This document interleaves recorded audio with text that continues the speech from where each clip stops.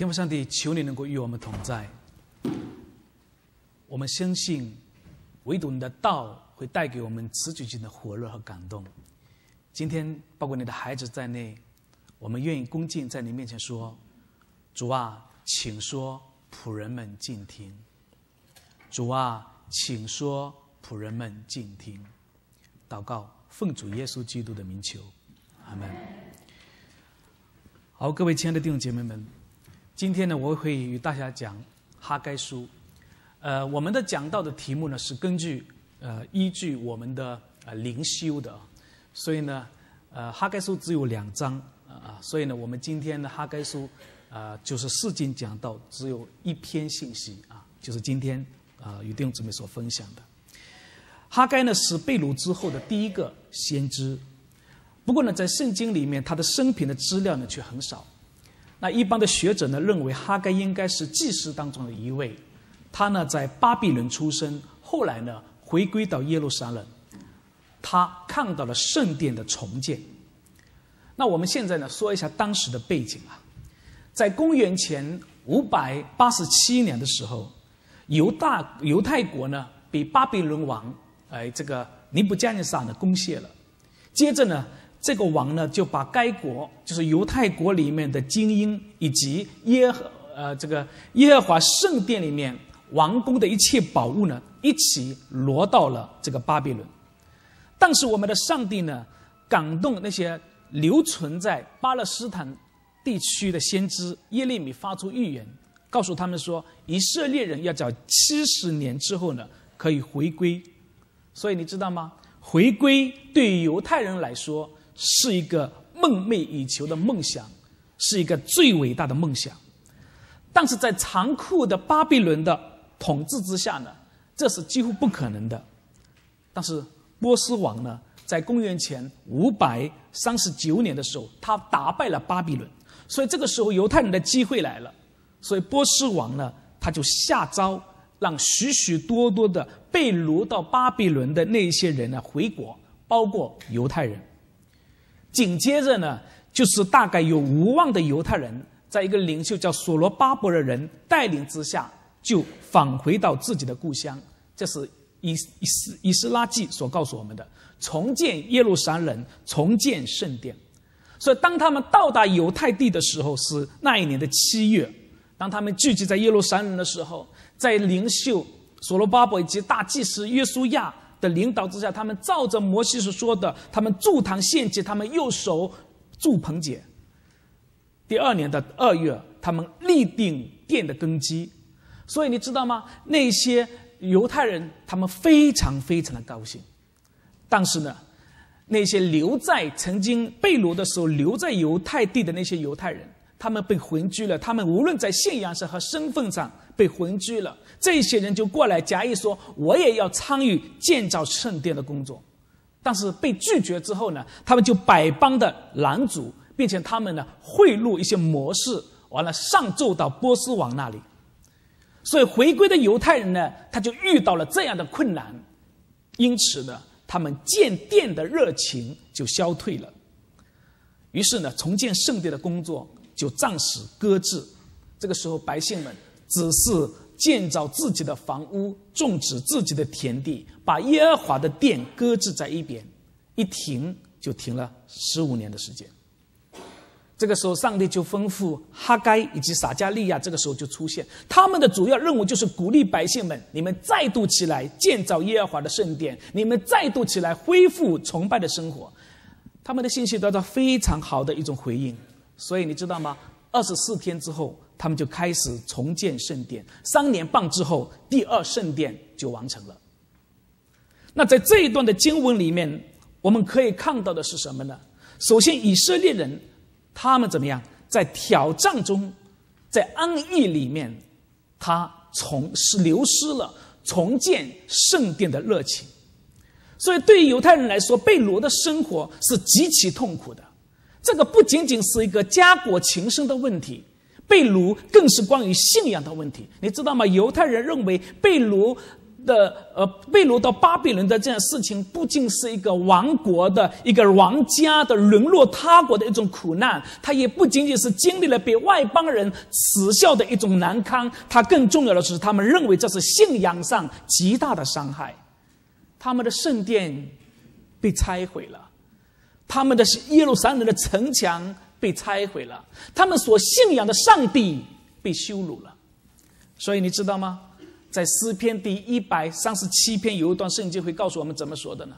这是犹太人说的。他说：“我们曾在巴比伦的河边坐下，一追想西安的时候，我就哭了。我们把琴挂在那里的柳树上，为什么呢？因为在那里那些外邦人要我们唱歌，那些抢夺我们的要我们做了说，给我们唱一首西安的歌吧。”圣经怎么说？他说：“我们怎么能够在外邦唱耶和华的歌呢？耶路撒冷啊，我若忘记你，请用我的右手忘记技巧；我若忘记你，请用我的舌头贴在上膛。你知道吗？从这段的圣经里面，这种被掳对犹太人说是多么大的一种打击。但是到了公元主前公元前的五百三十六年的时候，终于有犹太人开始回归。”他们返回自己的家乡，所以当他们要回归自己的家乡，重建耶路撒冷和重建圣殿的时候，他们又是多么的高兴。在诗篇第一百二十六篇就记载他们高兴的样子。圣经怎么说呢？他说：“当耶和华将那些被掳的带回西安的时候，他说我们好像做梦的人。他说我们满口喜笑、满口欢呼的时候，外邦人就有人说耶和华为他们行了大事。”耶和华果然为我们行了大事，我们就欢喜。你知道吗？最后一节经经文就是流泪撒种的必欢呼收割，就从一百二十六篇诗篇里面所告诉我们的。因此，这一些人到了耶路撒冷的时候，特别是他们要开始重建圣殿的时候，在以斯拉记第三章十至十三节就告诉我们：你知道吗？这些以色列人不仅仅高声高赞美神，他们更是他们要奠基。要开始的时候，他们更是大声哭泣。圣经怎么说？十二节第三章的十二节说：“然而有许多人啊，既是、利未人、族长，就是那些见过旧殿的老年人，现在亲眼看见这立这殿的根基，便大声哭喊。也有许多人大声欢呼，甚至百姓们不能够分辨欢呼的声音和哭号的声音，因为众人大声呼喊，声音听到远处。”各位亲爱的弟兄姊妹，我读这几节经文，我只想让大家知道他们的情绪变化。这么的痛苦，这么的高兴，现在正殿了，这么的高兴。但是呢，施工不久，《以斯拉记》第四章就告诉我们，他们的工程就受到了邻国，特别是这些撒玛利亚人的阻碍。再后来呢，他们上告。哎，这个波斯后来波斯下来诏令，就让停止建殿，他们就怎么样，停止了。一停停了多少年？十五年。那么我们就想，这十五年的时间，犹太人在做什么？为什么一直在建的工程一停就停了十五年？他们到底有过努力吗？他们到底有过争取吗？亲爱的弟兄姊妹，我们如果对照这些犹太人被掳时的难过，回归时候的高兴，以及这个。这个定根基时候要建殿时候的欢呼，我们也可能会觉得，为什么就会让他停滞了十五年的时间？他们最起初的那一颗最火热的热心在哪里？他们面对挑战的时候，他们躲在了自己无法绑房子里面。第二、第四节的圣经会告诉我们，以色列人以时候未到。作为停滞建殿的理由，从圣经哈该先知对以色列的责备的话来看，以色列人在重建圣殿上停滞，它的原因是什么呢？他们说是时候没有到。你看第二节的圣经怎么说的？他说：“望君之耶和华如此说：这百姓建造耶和华的殿，这百姓说建造耶和华的殿时未，时候怎么样？尚未来到。”我告诉你，这是一个很好的理由，哎，这是我们常常平时我们做无论什么的教会的事情，或者你个人的事情，我们常常说的一个理由就是时间还没有到。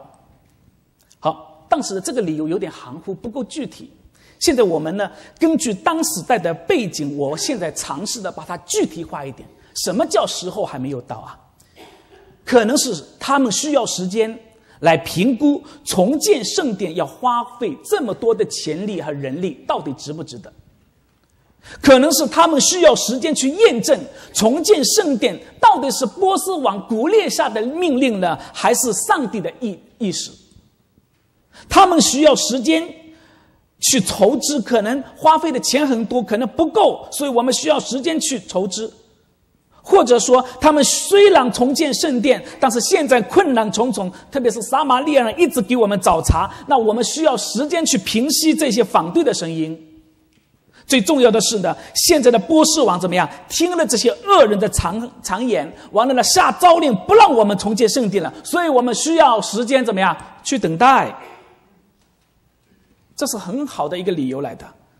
或者说，那有人可能觉得，哎呀，从耶路撒冷被毁到现在呢，一共还不到，呃，耶利米先知预言的七十年。所以我们等到七十年之后，因为如果他提前的话。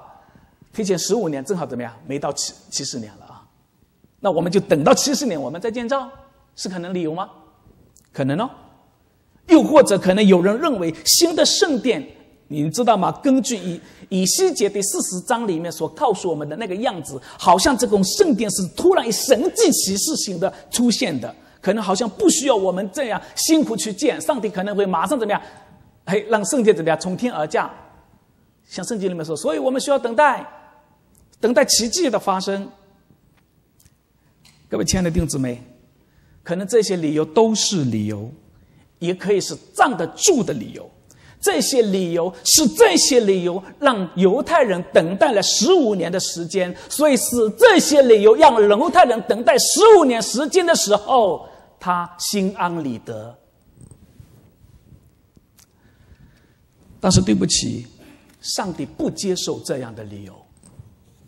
圣经第三至第五节会告诉我们，那时耶和华的话临到先知哈该说：“这殿仍然荒野荒凉，你们自己却住在了天花板的房屋吗？”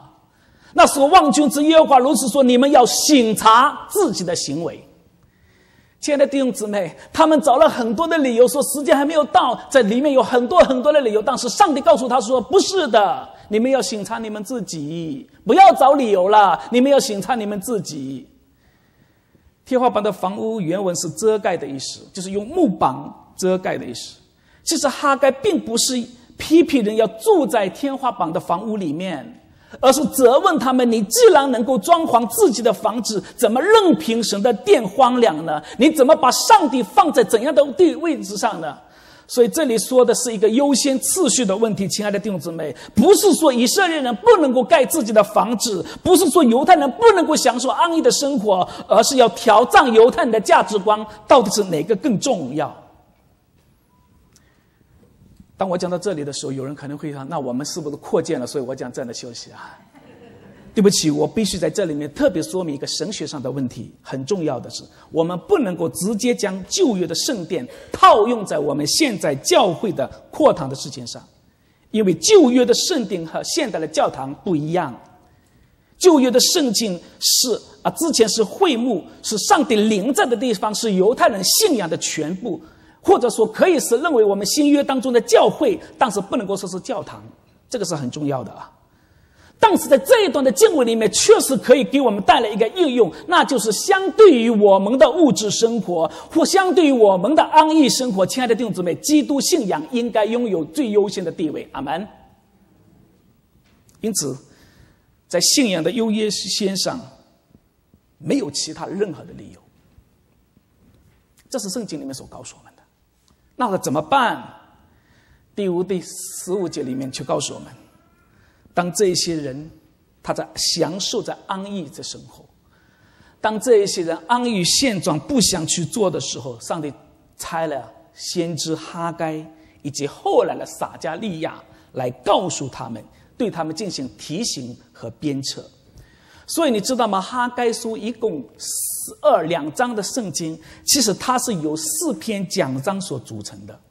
第一篇讲章就是第一章的第一至第十五节，就是我们今天所念的，先知哈该勇敢的指出，你们这些百姓拖延建殿是不对的，省得殿荒凉，大家不应该只顾自己的事情，大家要审查自己。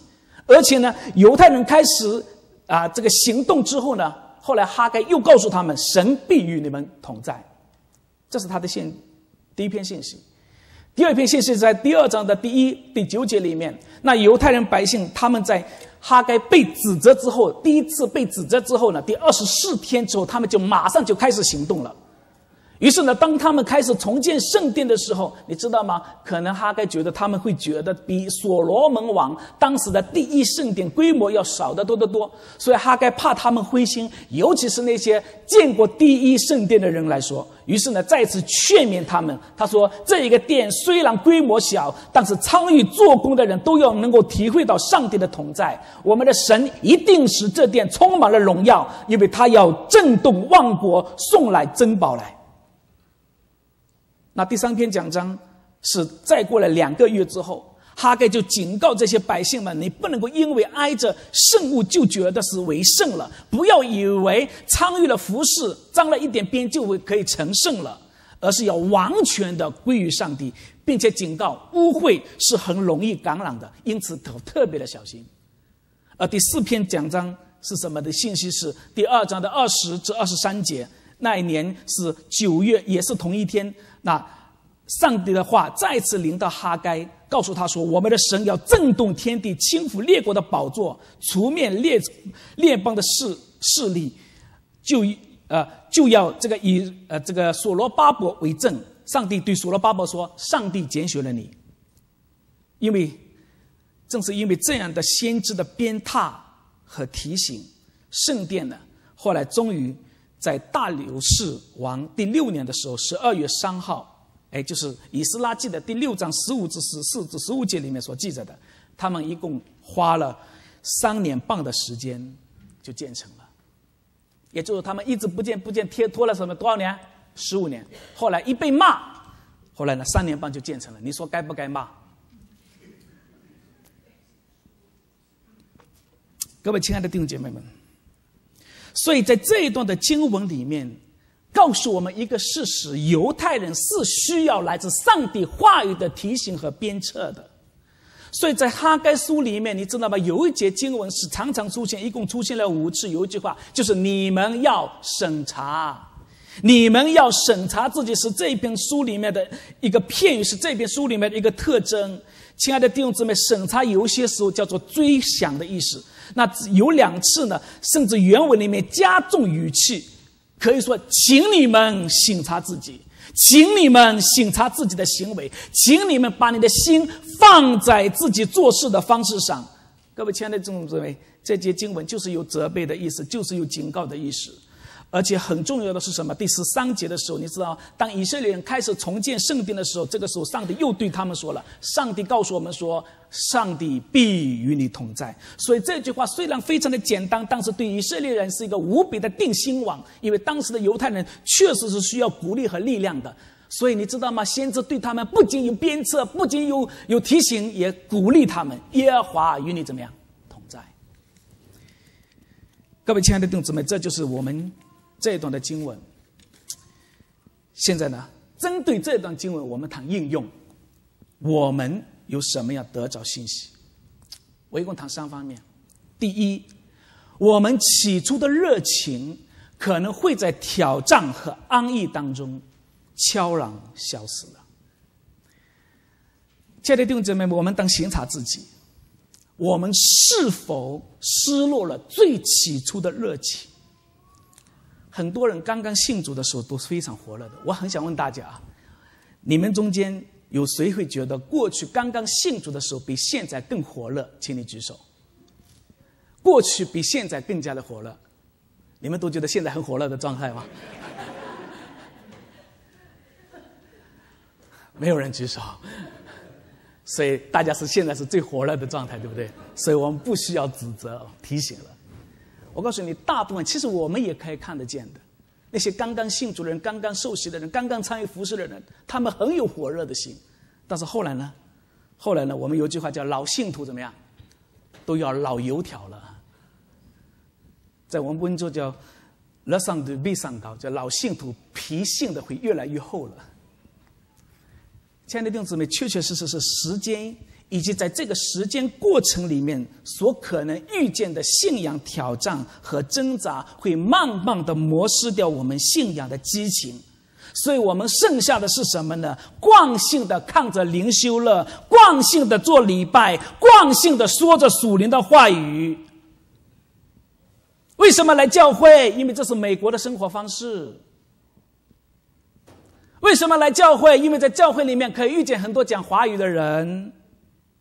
我们却失去了最起初被耶稣基督钉十字架所激励、所得到的那个信仰热情。我们在侍奉上也是如此。我们每一个人需要反省你自己。你回顾自己当初参与教会服饰的那个火热，是否在挑战和安逸里面逐渐的消失呢？我告诉你，在侍奉当中，我们最常见的逻辑是这样的：侍奉就会遇见怎么样挑战？你信主，别人叫你侍奉，侍奉就遇见挑战，有挑战就怎么样容易受伤，一受伤就怎么样又回到自己天花板的房屋里面真的。服侍的人就特别容易受伤害。我们都是说，容易受伤的人是谁啊？就是服服侍受伤服侍的人。服侍果效很好，特别是别人对你的服侍很有肯定的时候，你就服侍的很开心。如果你自己没有看见服侍，特别是你服侍的时候，甚至别人对你怎么样，对你的服侍产生批评的时候，你就很容易自怜，你就想放弃。确实。亲爱的弟兄姊妹们，以前你觉得服侍上帝是很伟大的，但是时间可能会让你非伟大化我们的使命。以前你觉得在教会里面为主做梦、为主来梦想的时候，这是很伟大的，但是时间把我们的理想给平常化了，安逸和挑战。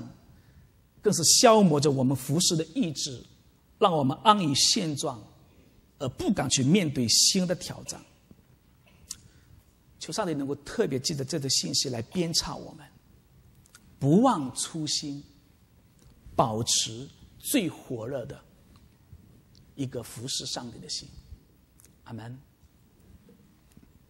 第二，我们会为自己的安于现状。寻找心安理得的理由，你知道吗？我们最大的问题往往不是我们的软弱，而是逃避我们的软弱。一般情况，我们不大会自己承认自己是安于现状的，我们不大会承认自己是懒惰的，我们不大是承认自己是怕，我们不愿意承认自己是害怕面对新的挑战的。我们就像犹太人一样，我们有很多的理由和借口。如果问你，问你在做弟兄姊妹，问你在信仰和服饰上，你不如过去吗？我们马上会回答说，有很多的理由，为什么我会这样？所以我们为着我们逐渐消失的这种热情，找了很多的一个借口和理由。为什么不来教会崇拜？很多的理由是什么？不是我不来，只是因为怎么样？有很多客观的原因，对不对？这些客观原因什么呢？他说有有时候啊，你为什么不来教会的服饰？啊，像我，包括我也一样，会邀请弟兄姊妹去服侍，邀请弟兄姊妹参加一些呃一些聚会。你你知道，很多人会告诉你很多很多的客观理由，说完了我都感觉好内疚啊！啊，你确实很多的理，你不该来服侍，你不该来教会。各位亲爱的弟兄姐妹们，说实话，有我有些时候很想跟你大家分享。我在国内所看见的那些教会的一些弟兄姐妹，特别是农村的一些弟兄姐妹，他们在服饰上所摆上的时间和精力，但是我们一直我我也一直不敢讲，因为我知道当我讲了的时候，有人会说：“拜托，这是美国不一样的。”确实是不一样的。但是对不起，照着哈该的逻辑，上帝说：“不要再找借口了，是你的优先次序出了问题。”所以第四节怎么说？这个殿仍然荒凉，你们自己住在天花板的房屋吧？你知道吗？这一个代词、代名词，这个“你们”在希伯来文当中是重复使用的，就是为了加加强这个这个语气。这句话应该怎么说的呢？这殿仍然荒凉，你们对我说的就是你们还住在天花板的房屋之下里面吗？这个殿仍然荒凉，你们对说的就是你们还以你自己的事业为你自己的家庭为第一优先吗？这个殿仍然荒凉，你们就是你们还以你的旅游和你的娱乐为第一优先吗？亲爱的弟兄姊妹，我们真的有很多不来教会聚会的理由。这个教会的招待不够热情，聚会时间太长了，讲道讲的不够好，唱诗歌太闷了啊，不够活泼，都是理由。今天记者哈该告诉我们，不要再找理由了，是你的优先次序出了问题，你应该省察自己的行为。各位亲爱的参与教会服饰的同工弟兄姐妹们，我不知道你为什么不想参与更多教会的服饰，总是推脱教会的服饰。我们也有很多的理由，最大的理由是什么？太忙了，或者说发现教会呢，在教会里面服饰越来越多的时候，麻烦越多。完了，在服饰的事情上呢，好像多我一个不多，少我一个不少。亲爱的弟兄姊妹，今天记着哈该书来提醒我们，不要再找理由了。是我们的优先次序出了问题，我们应该审查我们的行为。阿门。这节经文也在提醒我，呃，我盼望弟兄姐妹能够知道，我讲到的每一篇信息，首先是对我自己讲的。我在预备讲章的时候，我会常常哭的。我在预备讲章的时候，常常一夜睡不着觉的。不是我临时抱佛脚没有时间我写，不是，是因为我在预备的过程里面，我的情绪投入太多了。我觉得这是对我讲话，有些时候很兴奋，有些时候非常难过，这是对我讲的。今天我同样记得这篇信息，对在座的所有的服侍的人讲，包括牧师，包括执事，包括理事同工们。我们是否在策划教会的发展上？我们是否对教会人才的培育上？我们喜欢安于现状？我们不想突破？我们不敢突破？我们宁愿活在过去的经验当中？我们甚至为自己的安逸现状找了很多很多的理由。如果是这样的话，这段经文提醒我，也提醒所有的同工们，可能是我们的优先次序出了问题。我们应该审查。自己的行为。说到教会的发展，白瓦拉有个教授，他有一本书，他是专门研究教牧、领导和教会增长的。他研究过美国五十三个不同的宗派里面五百间教会，他在一本书里面，他怎么提出教会增长的九个原则？我比较喜欢看到他里面书当中一些比较有意思的一个统计数字。他说，在北美的教会里面呢，他说，如果这个教会只有百分之二十七以下的信徒参与服饰的话，这个教会一定会衰退的。只有当这个教会，啊，百分之五十五以上的信徒参加教会服饰的话，这个教会才能够出现增长。否则的话，它会停滞甚至衰退。我不知道我们教会到底有多少人参加过服饰。但是我盼望你是一个愿意服侍上帝的人。另外一项统计，他是说到北美教会里面的生命周期。他说，很多教会都会经历四个时期。第一个是增长期，在教会开创的前十五年到二十年之间，这个教会是最有活力的，意向目的非常的清楚，弟兄姐妹很同心，互相依赖，大家愿意服侍。但是那个时候的，因为那个时候的那个结构呢？组织结构比较简单，所以做决定有自发性的，能够灵活性的，大家能够参与服饰的。但是到了二十年之后高峰期，这个时候教会达到最高，但是呢，度过四十年之后，他说有降落期。他说本来原来教会的意向和使命被遗忘了，遗忘了。士气下降了，参与教会服饰的人也越来越少，而教会的行政就变得越来越官僚化。所以教会呢，不再去做开拓的事情，而是把重点维持怎么个维持好、保养好原来的一个一个状况。所以教会开会不是为了发展，而是怎么一个维持现状。完了，他调查显示是说，如果不加以改变的话，他就会进入第四结束期。这是他们的统计数字，你可以说它是不准确，但是他们针对一些教会的一些统计数字。四十年，我们教会是多少年了？没到四十年，感谢赞美主。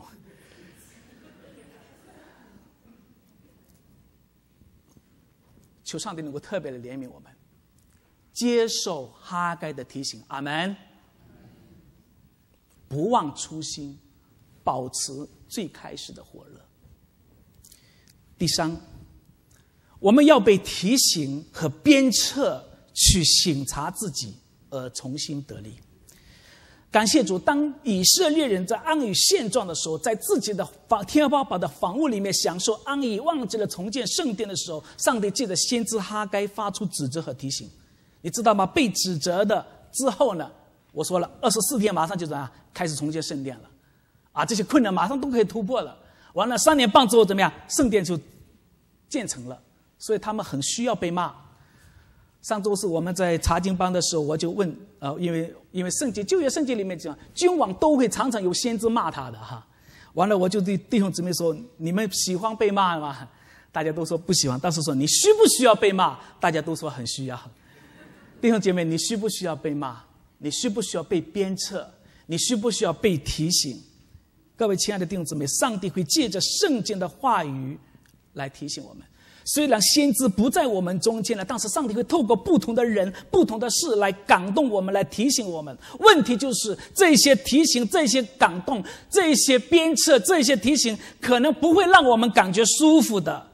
那我们问题就是，是否愿意敞开自己的心，愿意接受提醒、接受鞭策，又或者我们要活在自己的经验和认知当中，拒绝一切的提醒和鞭策，又或者？你觉得自己已经很好了，我不需要鞭策，不需要提醒了。上帝记着圣经的话语来提醒我们：当我们个人灵修的时候，上帝会透过他的话，进对我们进行鞭策和提醒；当我们逐日崇拜、聆听上帝话语的时候，或者在我们这个团契彼此的过程里面，有没有对你进行鞭策和提醒？特别是当我们看到一些属灵书籍的时候，或者参加一些特会的时候，啊，有没有领受上帝对你的对你的鞭策和提醒？又或者，我们躲避学习的机会，我们不参加团契生活，我们不参加这些什么培训，我们只接受我跟我想法一样的语言，过路一切跟我不一样的语言。真的，上帝对我们的提醒。无所不在。上上次的周三祷告会的上个月，不是这个月上次周三祷告会的时候，那个有个弟兄妍妍弟兄坐在我的旁边，他做祷告的时候，他说：“上帝啊，求你给我赦免我。”他说：“觉得自己过跟过去相比，现在的服饰不够热情，投入的不够多。”你知道他做完祷告的时候，这就是对我的鞭策和提醒。我就想到我过去的服饰。我就觉得我非常非常的亏欠，我说上帝啊，我也一样，我也悔改。亲爱的弟兄姊妹们，上帝对你的鞭策和提醒无所不在，让我们谦卑的来到上帝的面前。对不起，请允许我再大胆一点，好不好？说出我的观察。你知道我过去。在国内服侍的时候，有一本属灵书籍的时候，我们都高兴的晚上都睡不着觉的。那时候在中国没有买到，我们都是海外的人背过来的。我第一次去香港是二零零零，那时候很少人有去香港。我去香港的唯一的目的是为了什么？就是买属灵书籍。所以我买过来的时候被海关给抓了。后来我们怎么办？重新过一遍，因为他被抓不扣留着，你回去香港他会还给你。所以我们再走一遍啊，提得出再走一遍。这个这个时候没被抓，我们感谢赞美主就抬提回来了。所以有一次，有一次我在外面聚会的时候，他说要抓我，你知道吗？我们第一件事情想到我家里的书籍千万不要被抄了，所以叫几个弟兄回到我家，把书籍都给搬搬走，搬得好。为什么？那个时候我们很想长进，我们很想学习，我们需要学习鞭挞，我们需要被鞭挞。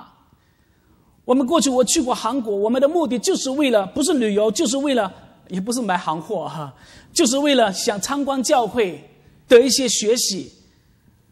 现在也是教会的一些温州的弟兄姊妹，他们去韩国、去香港，包括去新加坡。现在很多人去美国。刚刚过去去年就有好几批温州的传道人和那些基督徒商人在美国去学习。有个有个正好在那个 Venice 的那个 Church on the Way，他们在那边学习。为什么？他们花钱自己自费的花钱，为什么？是想要学习，他们不想安于现状。因为国内以前的教会太过封闭了。我想学习，我想长进。但是，亲爱的弟兄姊妹，今天我们在美国的华人教会呢？我们有图书馆，你很容易买到书的。我们到处是关于神学、圣乐、组长培训的讲座和课程。我们教会甚至设立了预算，要资助这些人。如果你愿意参加的话，教会资助你。但是很少人报名，很少人愿意。我亲爱的同工们，你对教会的发展到底了解多少？你对美国现在华人教会了了解状况到底有多少？我们是否？为自己提供了一个机会去接受鞭策、接受学习，不想安于现状，再成长一点。两个星期之后，我们教会的教牧、执事、理事、主学老师、团契主席，还有我们一些服侍者，我们有一天的退休会。我们不在自己的教会。去年我们在卡阿卡阿卡迪亚的进行会，今年我们去西区华语进行教会聚会。你知道为什么这样安排？我们的主持目的是不仅仅让我们能够学习到，我们也能够开阔我们的视野，看一下别人是怎么做的。说实话，前几天牧师，我们是传几个传道人一起去先去看。我回来的时候，我我以前去过的，我故意去过看过的，我觉得我们需要有学习的。但是这次回来之后，我觉得我们还我震撼还是很大。我们学需要有这种机会，让我们成长。我盼望，如果你接到邀请的人，你要参加，为主的缘故，并且我们教母，我们现在也在，也在每一天，我们现在用的是四经讲道法。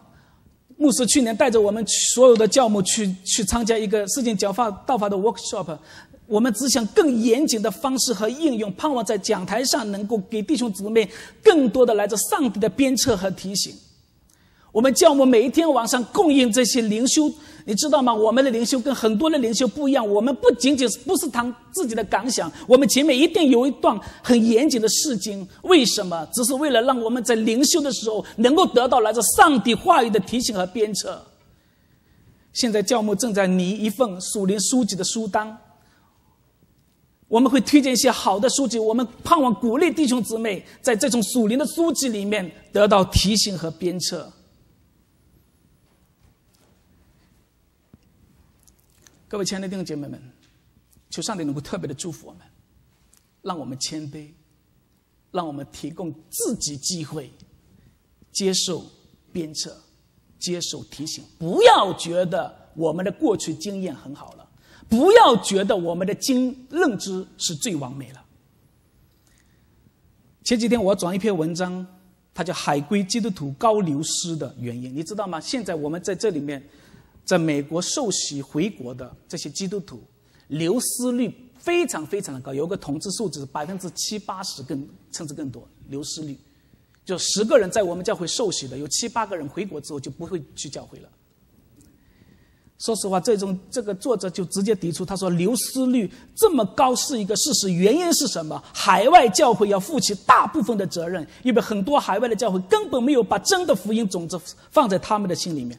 当然，他也提到国内的教会有不可呃这个推卸的责任，因为国内的教会呢，他说简单粗暴哈。牧养上，说实话，我看到这份经文的时候，呃，我是做这个海外的这些留学生事工的人，我看了不舒服的。但是我就觉得我们需要被提醒，所以我把它转到这个国青的同工群里面，转到不爱团契的同工群里面说。我这些弟兄弟姊妹们，我们开放自己的心，愿意被接纳、被鞭挞、鞭策，愿意被提醒，好使我们回到那一个最起初的火热。阿门。神的殿荒凉，不要再等待了，不要再找借口了，不要再拖延了，不要再安于现状了。让我们以更开放的心接受神对我们的提醒和鞭策。借着讲台信息、查经、你个人的读经、你的祷告分享，也借着属灵书籍，也借着一些特惠的机会，接受上帝对我们的呼召，起来建造，保持最起初的火热，保持上帝最起初所带给你的感动。阿门。我们祷告。